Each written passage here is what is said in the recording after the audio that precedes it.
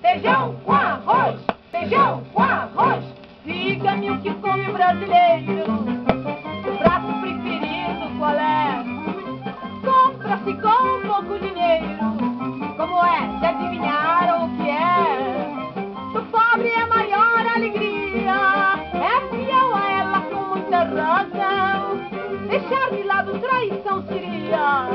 Esta comida nossa é uma tradição. É o feijão com arroz, feijão com arroz.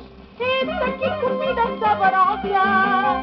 Feita por mamãe é mais gostosa. Inventada por um brasileiro. É famosa no estrangeiro. Luxo do nosso marmiteiro. Então, numa reunião lá no domingo. Não falta nem na mesa de um gringo. Em casa tudo é tão limpinho, pois que é mesmo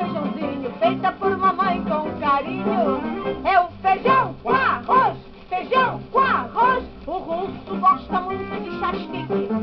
O alemão come dalton de perdiz. Pro francês o bois é très. O judeu só quer de fish fish. O americano gosta de cachorro quente.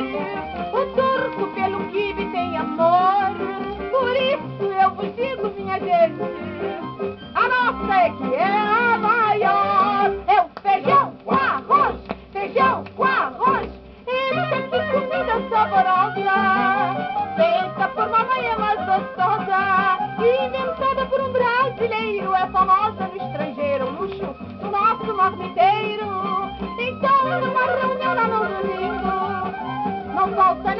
mesa de um gringo.